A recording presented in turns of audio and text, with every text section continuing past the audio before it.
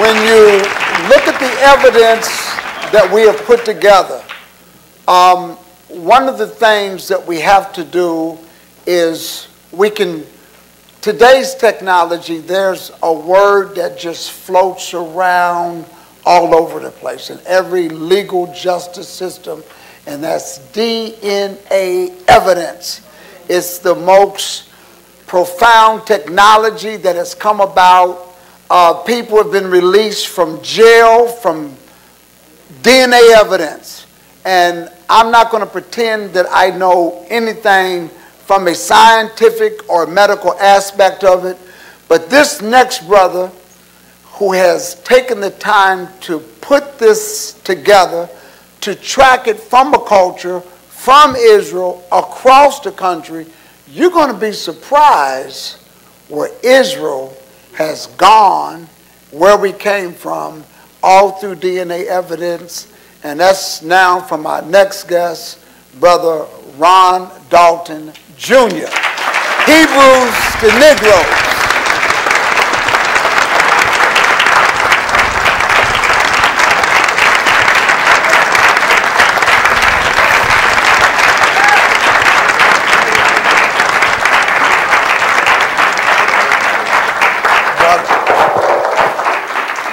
Have a seat, my brother. Man, man, man. It don't. This conference don't get no better than this. Exactly, exactly. Wow, wow. Um, let me say, um, you all. This is your first time meeting. I know you all have done some stuff together. This is your first time meeting Brother Ron Dalton in person. You're all the way across these brothers, yeah. but this is their first time. You all are a part of history. So give yourself a big hand. This is history.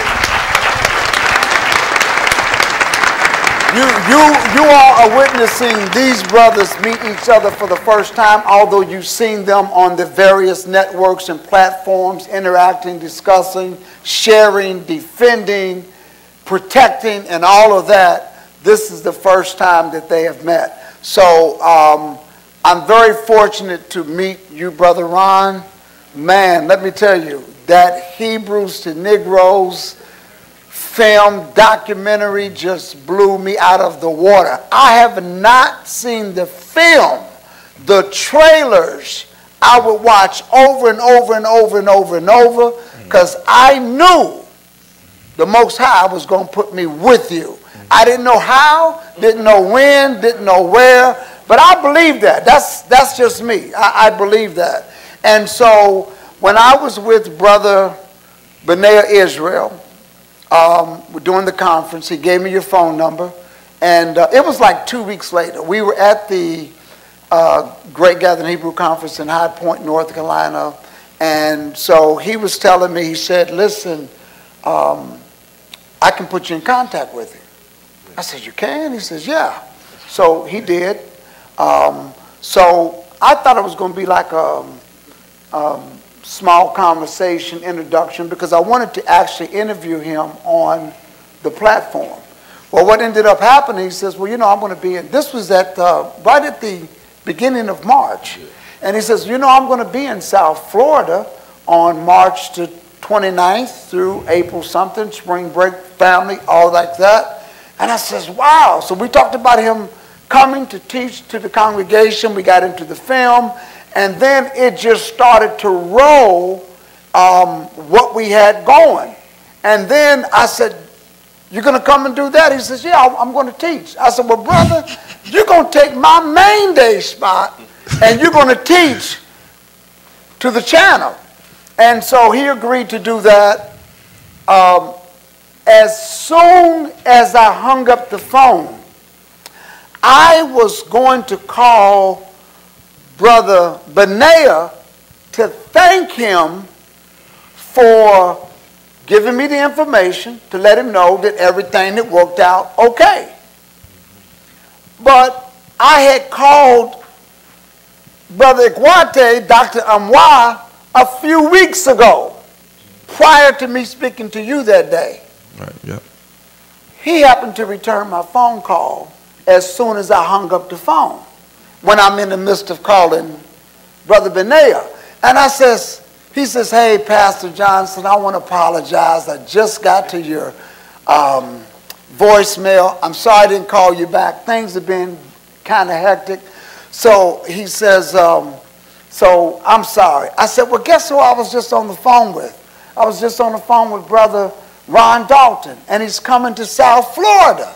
He says, really? I says, man, we're going to show the film. He's going to teach. And he says, well, I'm coming. I says, really? He says, I'm coming. And I says, wow. And right after that, I, I says, wow. So I says, well, listen, I'll give you the dates. We're going to get this thing together. So in my mind, I'm thinking, great, another Great Gathering Hebrew Conference.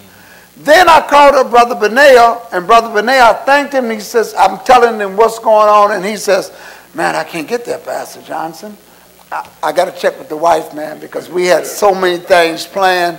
So I'm really, you know, like, come on. So he called me back and he says, well, I'm there. At that point, I said, it's on. We got a great gathering Hebrew conference, right? Then, when I tell Brother Ron Shields, he says, I'm there. I just want to come and be a fly on the wall, spectator in the seat. I said, no, this is not going to happen. So I say all that to say this. I'm glad to be able to put you guys together. Um, and this is the first time that we all have met. I have been very fortunate to have met in person, not only just talked to, but these four brothers, Brother Yerushalayim, y'all remember Brother Yerushalayim who did, yeah, I actually met him in person. So I have been very fortunate, and I don't know why, what, what it means to meet not only Brother Yerushalayim and these four brothers. I, I'm a very fortunate person as a pastor to have been able to come across you guys and reach. And before I, we put this together, I was sitting, I'm not a prophet, I'm not a prophet. But I was sitting in my uh, lounge chair, and the Almighty, He deals with you in dreams and visions upon your head, according to the book of Job. And He said, This year is going to be one of the greatest awakenings since 2016. Because you talk to a lot of people, 2016, oh, 2016, 2016. This year is going to be it. But this is how I got up and I said, wow, uh, this is awesome. I don't know what that meant, but I knew the conference that this I was trying to do in October, but it was the Most High that did this, that put this together. So I'm very fortunate um, to have done that. And, and thank you, brothers, for what you have done. Um, I've also had the opportunity to meet one of the oldest guys in the movement in the United States, and that's Brother Henry Bowie. And his brother Henry Bowie has one of the most well-organized Hebrew congregations that you can ever imagine. You, if you haven't gone, try to get there on a feast day. The place sits on a conference setting, 10,000 people comfortably under air. So believe me that. Uh, so I've also had the opportunity to meet him as well and just dialogue. And he has really helped me learn a lot of things that I thought I knew. But watching you all's documentary and what you're doing, you have summed up what these brothers have done using the latest technology that cannot be denied. Courts don't deny it. It's the best evidentiary it's the best evidence that anybody will just say, okay, that's it. DNA says it. That's it. Brother, you have done that, wrote books, for, put together a film. Our hats are off to you, and you're very humble. But we thank the Almighty for you in the work that you have done from a DNA evidentiary value. So we thank you for that. No problem, no problem. So tell us a little bit about you, and because this started with you, we saved the best. Well, all of these guys are the best, but uh, Well, that, I mean, if anybody hasn't heard my, my whole story, uh, basically I'm the son of a pastor, Pentecostal apostolic pastor uh, in Detroit. Uh, anybody from Detroit uh, should know about Cool JC and COGIC, uh, but Solomon's Temple is on Seven Mile on the east side of Detroit. But, you know, being the son of a pastor, we grew up in the black church. We go to revivals, you go to state meetings, you go to conventions, you go to, you know, vacation Bible school. You're in church all the time. And, and usually, if, if, like my dad had seven kids, I'm the oldest of seven kids, he usually has you do different things in the church or, teaches you to do everything. Yes. So you can read Bible scriptures, you can play the drums, you can sing, you can direct the choir, you can take the offering, you can you know lead devotion, you can do it all. Um, but uh, I was always somebody that that thought about you know when when pastors will say certain things, I would read my scripture and I would ask questions in Bible class. That the pastor would be like, "Well, why are you asking this question? You just you just show up in the class. You know, we, we need to go at the end of service. Not right now. Now's not the time. You're throwing us off." And he they feared you. Yeah, because I asked always these tough questions, and they were like, and then they would laugh like, "You think you know it all?" you know, and I was just like, "Well, can you tell me? The, can you tell me the answer?" And they wouldn't have the answer, and I said, and I just I said, "See, you know," and then, you know, as I got older and when I went to college, then I w- I wasn't going to church that much because I, was, I went to Eastern Michigan University, and I would come back home for the you know to wash clothes and for the What's, weekend. What was your major? Uh, well, I had a lot of majors, but uh, when I because I didn't know what I wanted to do at first. I had uh, pre-med, but you can't actually major in pre-med, so I found out outside just majored in biology, then chemistry. Chemistry I didn't do good. Then I majored in computer science, and then that wasn't good for me. Then I majored in psychology. But then I ended up majoring in uh, sports medicine. Okay. Uh, and then graduated with a degree in sports medicine. And then I went to physician assistant school at Wayne State University. Um, but it wasn't so, so we, we have somebody, can we consider him a subject matter subject matter expert? All right. Okay. All right. But um, it, and I believe that that all happened for a reason because uh, it wasn't until I started working uh, in the ER in Sinai Grace Hospital and in Detroit Receiving Hospital, and those two hospitals in Detroit are, are, are level one trauma hospitals. Mm-hmm. And so when I did my internship work there, uh, even at the VA hospital in Detroit, you know, I would see everything that would happen from the streets. So like gunshots to the head, gunshots to the eye, gunshots to the mouth, to the testicle, to the butt, to the leg, to the back, to the stomach.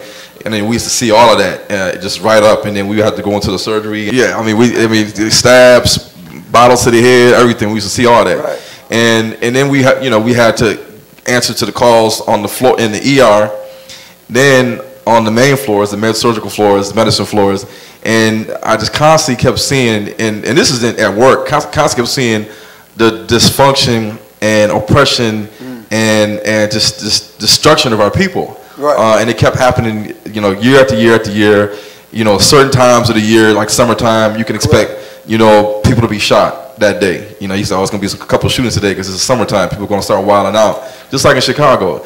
And, you know, I just started wondering, like, why are we such a broken, oppressed, destroyed people? Because when I would go home, and even when I would hang out with my friends in Detroit at the clubs and different things like that when I was young, uh, I used to be like, you know, we as a people, we, we really don't have nothing. We're, we're, we're, working for everybody else.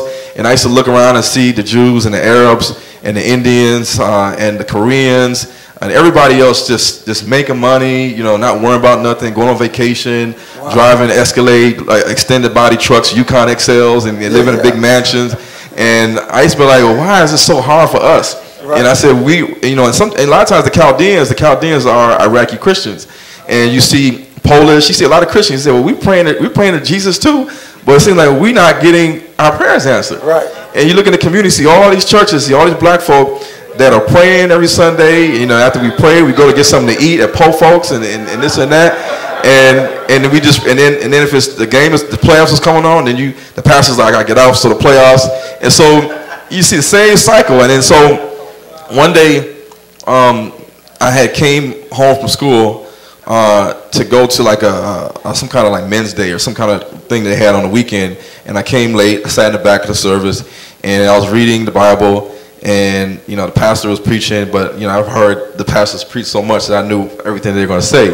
So I'm reading through the Bible, and I get to Deuteronomy 28, and when I'm reading it, it just kind of like stuck in my head, and I started thinking to myself, you know, this sounds like us And I'm like reading through this Deuteronomy 28, and all, I had read the Bible front and back many times. Yeah. You know, because my dad would make us do lessons, and but that one particular time when I read it, it you know that you should go into captivity. Your curse shall be your basket in your store. You know, your sons and daughters will go into captivity. All that stuff. And I said, this sounds like us. And and, and so then I started wondering, are we the real children of Israel? And so, you know, I'll ask my, my parents this stuff, and they'd be like, no, Ron, we're Gentiles. you know, you know, and I said, what's a Gentile? And uh, you know, they never read Genesis 10 and, and explained us what a Gentile was. We just Right, right. we just always taught we're Gentiles. And I said, well, you know, who was a Gentile? Did Noah have a son named Gentile? And they were like, you know, Ron, you know, not right now. And um, and so then, you know, so basically, yeah. So, so basically, I just, you know, asked, asked, you know, God. I said, "Can you show me the truth?" And at the same time, around that time, I was, um, I had a friend. He, he we worked together in Sinai Grace, and we had stumbled upon a book called The Synagogue of Satan. Uh, and I don't know if anybody has read that book by Andrew Carrington Hitchcock. And when I read that book, and me, me and him read that book, we was like, "What?" He's like, "These these Jewish people are not the real Jews." I was like, "Well, then who are the real Jews then?" And then he and then he was like, he looked at me. He's like, "That's the big question." So then I was really confused. I asked God to show me the truth uh, one night, and I was really sincere. And then and one thing led to another, and I started studying, and then He started to reveal different things to me. And the thing is, like with me, uh, when I would read something, I would go to a deeper level. I would take it to a deeper level. Okay. And because I wanted to know more, so if I read about a word and I don't understand that word, I would I would research that word and then try to research uh, is that word something that they were talked about in a 16th, 16th century book or a 17th century book, or if there's a word that I didn't understand and it was talking about some region in Africa, I would ask some of my friends. I say, "Hey, do you know what this what this means right here?" And depending on who knew the answer, it could be because because in Michigan you have Cameroonians, you have Nigerians, you have Ghanaians, you have uh, some people that are Mandingo or Senegalese, Wolof, uh, Fulani, Hausa, all, all different types. And I would ask him, well, what does this mean? Where is this at? He said, oh, this is the old word for this. You know, because I asked one guy, I said, what is Soninke? He said, oh, Soninke is like the old Mandingo, you know, Yeah. Mandingo. And I, and, and uh, I said, oh, okay. And so, you know, so I, I asked a lot of questions. I just suck the information out of people when I, when I meet them. And so usually when I meet people of other nations like Arabs and Indians and, and Native American Indians and whoever, I, will, I, will, I kind of like give them a homework assignment. They don't even know I'm, I'm giving a homework assignment. Correct, And I'm asking them questions about their language, their history, their origin, uh, their religion, and then I just retain all of that. And I start to put the pieces together. And so when I got all this information and I compiled it, I was saving it on my computer, I was printing it out, I was uh, writing it down, I was putting a, PowerPoint together, and uh, when I had all this information and I had a PowerPoint and everything, I said, I asked my, my dad and, and the church leaders, I said, can I present this to the church? And they said, I said, you already had me speak about prostate cancer and all this other stuff. And they were like, uh, they was like, no, you can't do that. and so I said, and I was discouraged. I said, I have all this information, this mind-blowing information that, that I know that they would find it mind-blowing too, because I found it mind-blowing. Right. And I just felt like I was the only person in the world that knew this information, and, and people thought I was crazy. And then so then um, I remember uh, I was we was at a uh, it was like during like a barbecue uh, July Fourth, and I was sitting in on the porch in Detroit with my uh, with my wife and her family, and I told them I said I'm gonna write a book about all this stuff because they heard me talking all the time. They Ryan, you always talking about this secret society, conspiracy, Jews, black, this and that. You know, he- they gonna get you, they gonna kill you. I'm like. And then all the, all the blacks started chiming in too. Oh, we can't talk about the Jews, can't talk about Freemasons. I was like, why not? Why y'all scared? Right, I said, right. "Eh, why are black folk always got to be scared all the time? I said, I was like, bump that. You know, I said, I'm writing a book. You know, and so they were like, okay, all right. Because, you know, a lot of, some of these older guys, they, they're Freemasons, you know, these older guys. But, and so I never wrote a book before. And I asked somebody, I said, hey, how do I write a book? I just started writing down in a notebook. They're like, they're like, no, Ronald, you got to write it in Microsoft Word. You know, it's like you're doing double work. So why would you write a 700 page book on paper and then have to transfer it to Microsoft Word? So I, so I just basically sat down and opened up Microsoft Word and just started typing from the brain, from the dome, and just just, just was in the zone. And then I was just typing, typing, typing, typing. No publisher that I that I had contacted wanted to take on my, my book. And finally, I found a black lady that, that would publish my book. And she says, Ronald, she says, um, she said, I published a book, and then, you know, she checked back with me, and she said, Ron, um, are you done with your book yet? I said, yeah, I think I'm almost done. And she was like, well, how long is the book? I said, it's a thousand pages. And she's like, wow. she's like, Ron, no, no, no, no, no. She said, black people ain't gonna read a thousand pages. And so I said, but they need to know this stuff. They, they don't need to get 10 different books, like 10, 100 page books, because then what if they read one and say, well, you know, I'm not gonna buy this book and this, this book, because they get discouraged. And so I cut it down to 700, published the first book. Uh, if anybody's read the first book, they know it's about this big. And then I did two and three and four, and I, and I started to do, well, I, I did halfway complete five and six, but then uh, a lot of people say, well, you know, black people don't read no book, you know, you know that, and, and, and they look at TV and, and, and the video and streaming and all this stuff. So I said, well, I said, maybe I need to make a movie. And he was like, you gonna make a this pastor told me this. Uh, he said, "You gonna make a movie?" I said, "Yeah, I'm, wor- I'm, I'm, working on it really right now. I'm thinking about right, it." Right. And so he was like, "Well, good luck." And nobody had ever, and, and I googled uh, on Amazon. The only movie I found was Hebrew, the so-called Negro by Yahya Bandele, okay. and I think he passed away. But he has a he has a documentary um, that he did. It's on Amazon. That's the only video I saw at the time about the Hebrew Israelites. The other video came out not too long ago was. Um, Village of Peace uh, that they did in Dimona with, with uh, Martin Stoudemire. Yeah, but other than that, all the all the movies that you see on Amazon about the black Jews coming from a Jewish perspective. Uh, like doing Jewish, they're re-emerging the Jews of Nigeria. Right. It's always done from a Jewish perspective. They claim to be this, they claim to be that, blah, blah, blah. And so I said, no. I said, well, I'm going to do a movie. And I don't know how I'm going to do it, but I'm going to do it. And, I don't, and I, don't, I don't know how I'm going to fund it, but I'm going to use my own money and we'll put this movie together. And I didn't have no training, no knowledge, none of that. I just I just started writing writing the script. Then I started to uh, go into like uh, you have like um, Getty, Alamy, Shutterstock, right. iStock, um, Corbis. You know, right. different things that they they uh, they have images and videos. And so I would get stuff because because I can't physically afford to go to Africa and go to Egypt and go to Arabia and go to different places of the world.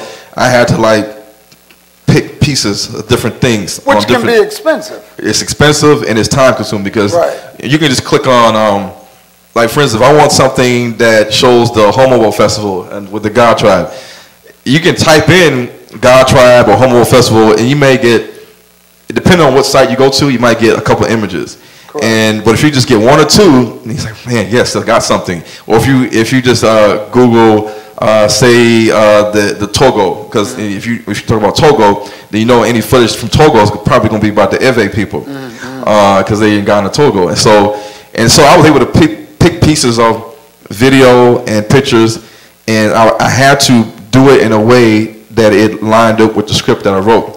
Okay. Because I wrote the script, then I had to visualize the script, what I wrote, and then pick the images and videos and, and graphs and different things to put it all together like a puzzle and to make it work into a movie. And it took uh, it took about three years to make because three? the first yeah the first two years of the movie uh, I was using my own money to, to okay. fund this, and, and whether I was getting laid off um, or you know my job was cutting me down, my hours, um, it it it created slow points and then okay. high points, and then it got to the point where. Uh, right before the Reclaiming the Throne uh, conference that we had in August, I think 2018, uh, right before I, we, we went there in New Jersey, New York, one of the doctors I was working for laid me off. On, he laid me off on the phone. It's like, don't come back. And I was like, wow. man, I was like, how am I going to finish this movie? And I need at least ten thousand more dollars to finish the movie. And the funny thing is, like when I was when I was driving to New Jersey and New York, uh, and I said this at the at the thing, and Ethiopia, well, the lady she says she's an Ethiopian Jew, mm-hmm. and she called me on, in the car. I said, uh, I've been doing a year sabbatical, and I've been praying to my father, uh, Yah, and she says I've been laying for prostate, praying into the, until I get into the spirit. And she says I have something to tell you. She says, uh, Yah told me, or God told me to tell you that not to worry about what you need because you're going to get it. Mm-hmm. Uh, don't worry about uh, finances, how you're going to fund what you want to do. Because I know you, she was like, I know you do books and everything else. I've been watching you, but you're going to get what you need. And so when we get to the conference, and the conference uh, is done, and I'm on the way home, then Dwayne and Nicole, anybody know Issachar? Okay, Dwayne and Nicole call me and say, you know, we want to help you finish the movie. It's like, Ron, what can we do to help you finish this movie? And I said, well, I need about five thousand minimum to ten thousand dollars max to finish this movie. So then they did a, like a GoFundMe, well, like a pitch, like a, a commercial. Correct. And within, and I didn't think the Hebrews was going to come through like this because I have been on the podcast show. I'm always saying support the movie, donate the Hebrews, GoFundMe Hebrews to Negroes, Go- GoFundMe.com backslash Right. Hebrews Negroes. People were saying you're begging too much, stop asking for money on the show. People will think like, oh, you just want money, You're just trying to hustle Zion. Right. But they didn't, and, and, and even some Hebrews thought, oh, he's just going to get the money, he's going to run away and get a, get a Range Rover and pay his bills. And uh, yeah, so they didn't believe me. So so when I when Dwayne and did that did that video, uh, within like a week, the the Hebrews all rallied up and donated like almost ten thousand dollars Wow. within a week. Yep. And so shout out to Dwayne for that. Um, but yeah, and that, that helped push the movie to, to the end, and then um, I dropped it in Detroit in, in front of a crowd of 450 people, and uh, even the, even the white people that were working behind the concession stand, Yeah. uh, when they got off work, they came in and stood there and watched the movie, and it was like, man, this is one of the best independent films I've ever seen. The way you mixed and mastered it, the, the, the volume was is, is perfect. We don't have to we don't have to adjust the volume up and down depending on the scene. Correct. And he was like, it's very interesting, and they were just all in, just looking. Uh, and they they had been off shift. They were just Yeah. standing there with their coats on, just looking at everything, because they ain't never seen a movie like that before played in their movie theater. Right, right. And um and, and so that was that's it. And um you know it's streaming now, and And you've never been a filmmaker. no, You've never put together a probably a good home video, no, nope. but the Almighty's energy just to do this, from putting it on paper, writing out what you wanted people to, what you wanted to convey to people, and getting the right clips to match it. hmm And this is what we have. Right. And so when I did the trailer, the last trailer I did, has anybody seen that last the trailer that you talk about? Has anybody seen that trailer? Everybody seen it? Okay. Uh, that trailer really kind of, uh, like you said, people were watching it over and over again. They were Yeah. getting fired up. They would get even people in Africa were like, "I seen your trailer, man. We need this in Africa." Yeah. You know, in Jamaica in different places, Bahamas. They were fired up for that trailer. So when the movie came out, you know, people went crazy, and uh, you know, and it's, it's spreading uh, across the world because I because I could see the analytics on Right. the on the uh, computer, and so people from Papua New Guinea, from Indonesia, from uh, uh, from Fiji, from Samoa, from China, from Germany, from Wow. you know Bermuda, South America, Brazil, all these different places. They're watching the movie, and you have a lot of good feedback, especially white people that are really uh, coming to understanding that we are the real children of Israel, and some of them actually said in the emails that they broke down and cried at the end of the movie because they all this time they didn't know, and they've been feeling like they've been taught that the white Jews are the real people, but then this movie made it so clear to them that they felt like all these years we've been doing you guys wrong, and now we're understanding now that you are the real children of Israel, and and they they, they they they told me they was crying, they feel really bad, really really bad, uh, and they want to do what they want to know what they can do to help. And uh, of course, you got certain Jews that are angry. And they post a lot of negative comments. They go back and forth with people, and they're like, "You guys are just Hamites. Quit being a culture vulture. You guys are trying to steal our identity. You know, you guys are Europeans and Hamite mix. You know." And so they're really they're really upset this this this this kind of movie is coming out because it's all true. It's all true. So, and then so you know now the next project I'm working on is the is the second movie. Okay. And I, and I think we had the trailer uh, for people to see it if, if whenever she loads it up. Um, We, so for, you have the, the trailer Yeah, done for done. the next for the next segment. movie. Yeah. Wow. I- she loaded it up. So Wow. um, Come So in. the- are we able to take a look at that? Are we able to take a look at that? Okay. Let's so it's that uh, it's called uh, Hebrews to Negroes Revelation: The Age of Awakening.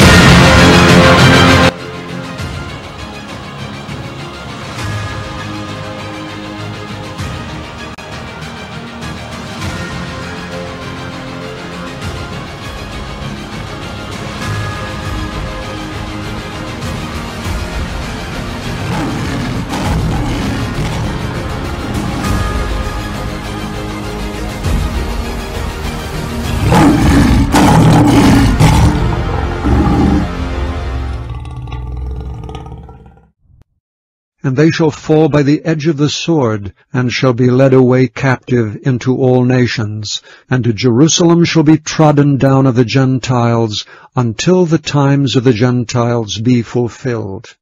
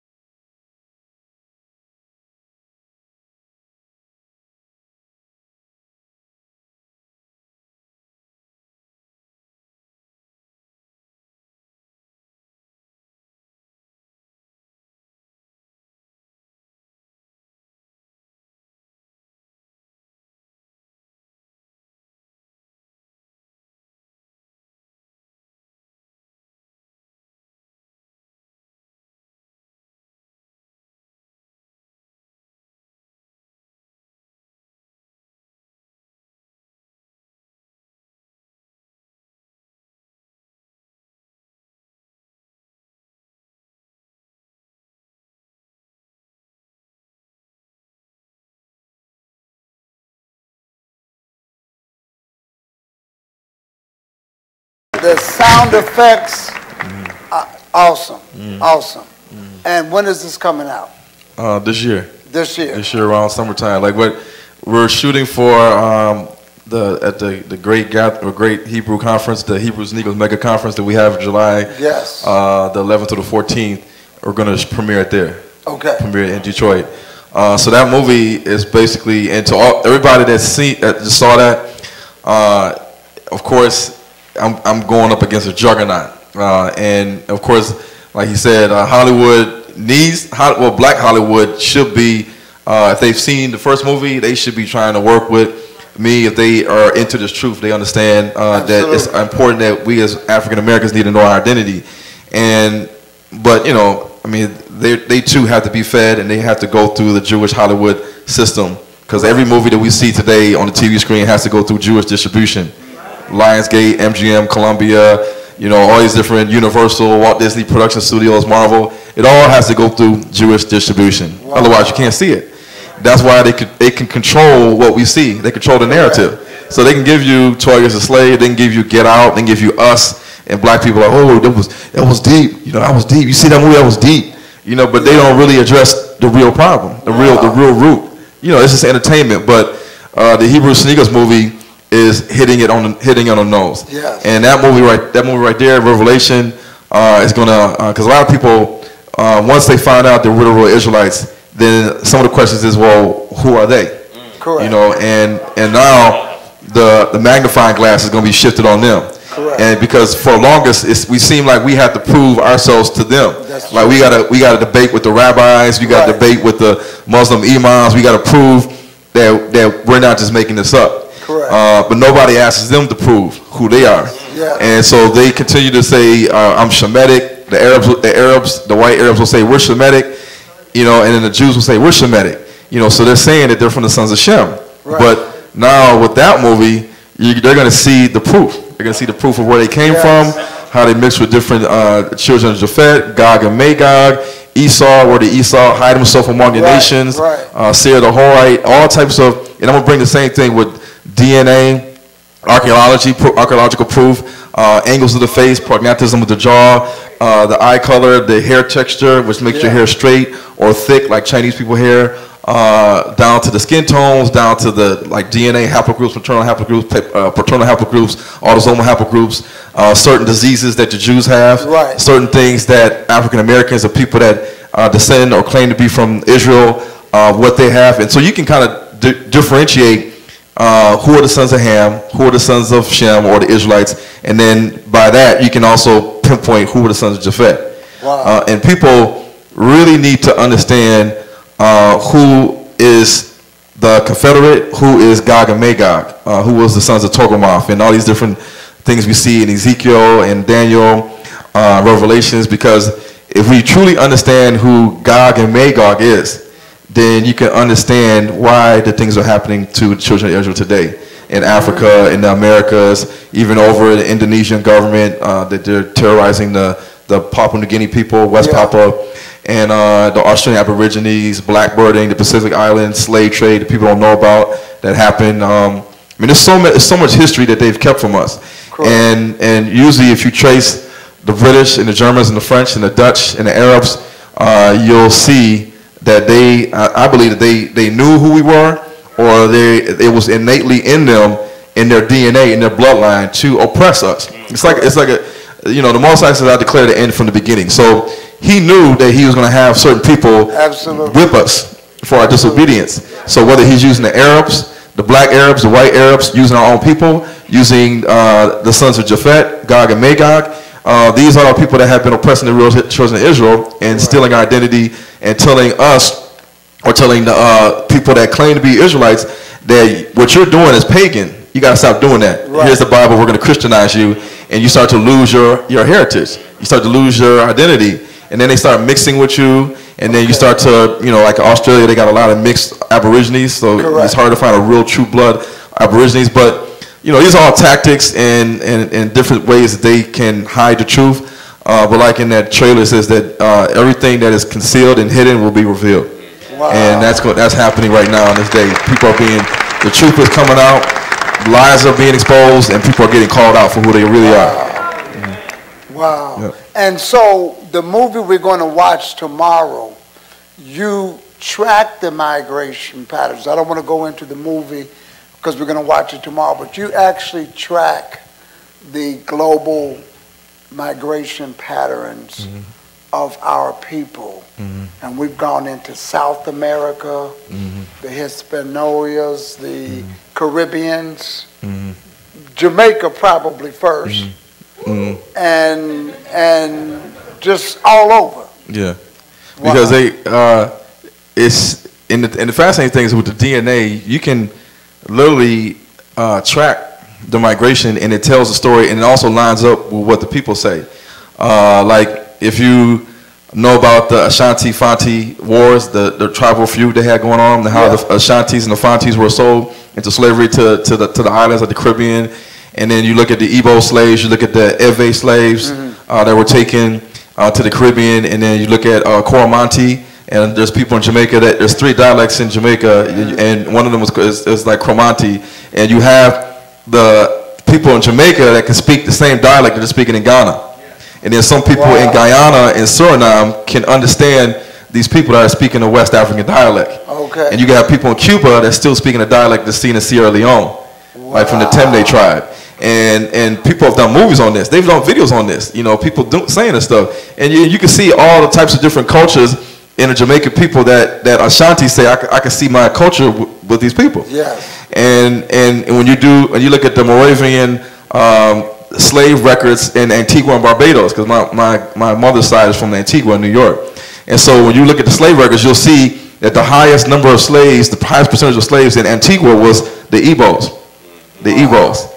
Uh, and and of course the British, you know, British Antigua, and then with the with the Haiti, you have the Ewe people. You also have some of the Akan people, and the Creoles mixed with Taino, Ewe, Portuguese, French, and and all like what Benaiah says, all this stuff ties in to the Spanish Inquisition, the Portuguese Inquisition, the slave trade that happened in west coast of Africa, where the Portuguese had a lot of ports. Right. And even Elmina Castle, before, before we call it Elmina Castle, was a Portuguese name for it. And just like um, you have like uh, Lagos is the Portuguese word for lake, and that's in Nigeria. They have a Lagos in Portugal too. Yes. And you have Angola, you have Mozambique, you have Brazil, you have Cape Verde, you have Senegal, Gambia region. I mean, it's so even in the Congo, even in the, even in the Congo, there's so much information in the Congo. When you read the, the, the manuscripts of Mani Congo or the old uh, Kingdom of Congo, how it stretched to Cameroon all the way to uh, Zaire or uh, uh, Angola, uh, that was a big territory. A lot of, whole lot of Israelites were in the Congo, and and a lot of the Congolese people know that they're Israelites. And some of them have actually called me and said that we're from the tribe of Judah.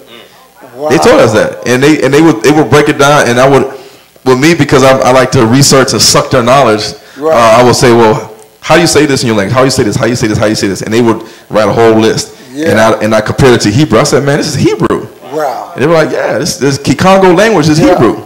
Yeah. You know, and so a lot of people in the Congo were straight up Hebrews, and it's the, it's that, and to me, I don't think it's a coincidence that the transatlantic slave trade happened in the Congo, and the Arabs even went to the Congo to get slaves. Yeah. They were taking they were taking a whole lot of people out of the Congo. Yeah. And and and then you had people like the Zulu and Xhosa and the Nguni peoples that say they migrated from the, that Congo region and they started breaking off in different tribes and clans and scattering in different parts. Um, so the like the uh, the Sotho people and and you have like the Shona tribe and, and everything like that. Like the- these a lot of these guys now are waking up. They're seeing the movie. They're seeing what's going on on YouTube. And they are now saying that we're Israelites, and then they're, they're putting up their language because because like Nelson Mandela was from the tribe of the Xhosa tribe, and so you can see in the Xhosa language the Hebrew in it. Okay. You can see it, and then you got people now, and a lot of people a lot of people hate me because they say Ron's just covering the whole globe. He's destroying the 12 tribes chart. He's making the 12 tribes chart seem like we got to start scratching their heads. Like, wait a minute now. Right. But uh, but what I'm showing the people is that that you know the 12 tribes chart doesn't like talk about Zulu and Xhosa. It doesn't talk about the Kikuyu, the Embu, the Meru, and, and the Kisii. It doesn't talk about the the Amhara, the Eritreans, the Tigrayans. It doesn't talk about them. And it doesn't talk about the Ethiopian Jews. Uh, and you know, so I like to cover so many different things. And in the movie, I touch on Africa.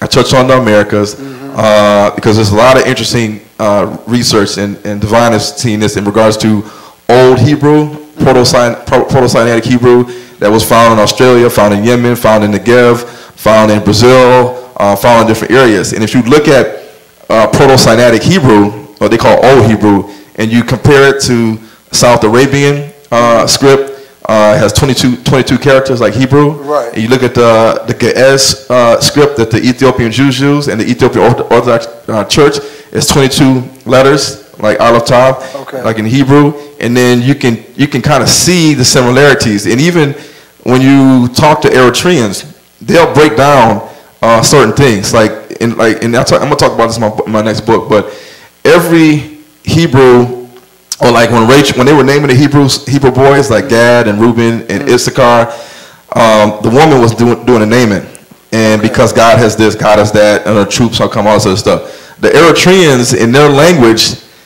what that name, what that name uh, says, like Asher or Gad or Issachar or Zebulon um, or Dan, it actually means what the mother had said in that scripture when she named that child. What do you mean? Right. Yeah, and so there's a lot of Eritreans, uh, and it's not a, co- it's kind of it's kind of weird because the Eritreans are also the ones that are migrating to Israel. Okay. But the Israeli government wants them out, and and you know they don't want to give them citizenship. Uh, but yeah, they have a lot of history that that goes back to Israel and leaving out during the Babylonian uh, uh, siege and and going through uh, Arabia, the the Habasha region, and then crossing over to the Horn of Africa and having to battle and get their niche in, in Kush or with the Nubians or Nilots. And so, in, in, you know, in the movie, you'll see also the Pacific Islands. You'll see Australia, uh, Polynesia, and um, one thing I'm gonna say with this movie, people from Fiji, people from Maori, people from Samoa, people from the Marshall Islands, people from Australia, uh, even Papua New Guinea have contacted me and said that our elders uh, told us that we are the Israelites. Wow. And they'll start telling their story how they got there. Okay. How they went into Egypt and they went to uh, to to the Horn of Africa and crossed over to Yemen, and from Yemen they carried the Indian Ocean all the way across to Papua New Guinea, or they carried uh, they carried canoes past the Andaman Islands. Some of the people stopped in the Andaman Islands. Right. And a lot of people that don't know, the Andaman Islands is an island below India.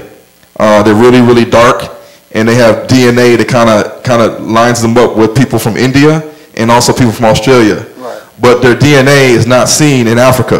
So the Andaman Islands, Andaman Islanders, uh, they look like they could be in Africa. But they're dark skinned. They're really dark skinned. Right. They're, they're like they're like blue black, Right. real dark.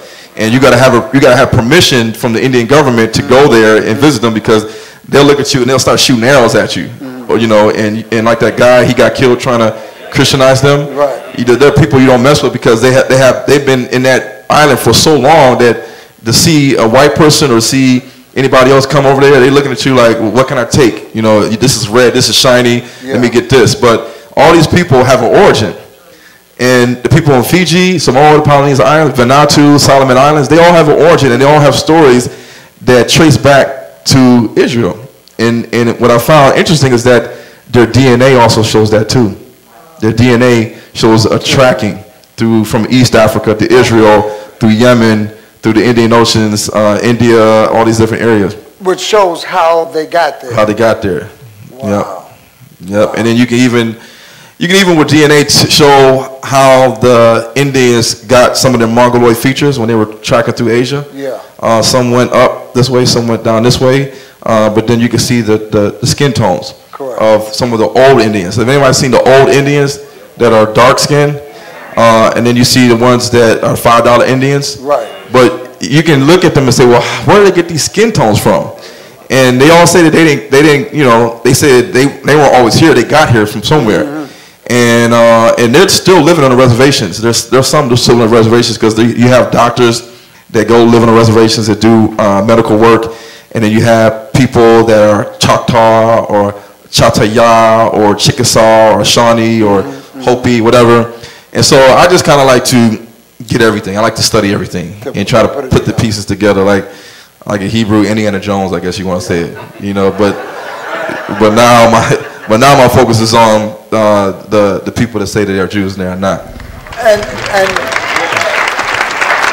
and, and we have to do that because when you bring this to family members, and this is one thing about the purpose of this conference, is not to bring people, not only to bring people together like what we're doing, but to also uh, substantiate what we know and who we are.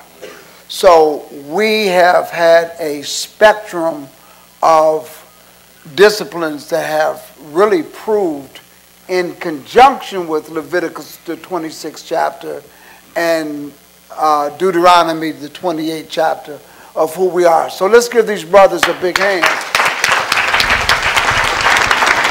So tomorrow, we're going to be, in the morning, we're going to be hearing more from Brother uh, Dr. Amwa and Dr. Dalton. Um, 10 o'clock in the morning, we're going to do a continental breakfast. And Listen, we starting at 10. In fact, the breakfast uh, is going to be the continental breakfast. A lot of you all have traveled, uh, but we will have a continental breakfast starting at 9:30 to 10, because this brother's going to get started at 10. And then we have a brother that has, I'm not going to even tell you all. Yeah, I should tell them. Um, Minister Michael Norman is in the audience. Stand up, Minister Michael Norman. This brother here uh, is going to perform tomorrow. We got another brother who's got several albums out coming from Jacksonville, Jacksonville, Florida. Tampa, Florida. Are you here, brother? Amen. Give him a big hand. Romans 10 14 says, How then should they call on him in whom they have not believed? And how should they believe in him of whom they have not heard? And how should they hear without a preacher? It's time to take the truth to the streets.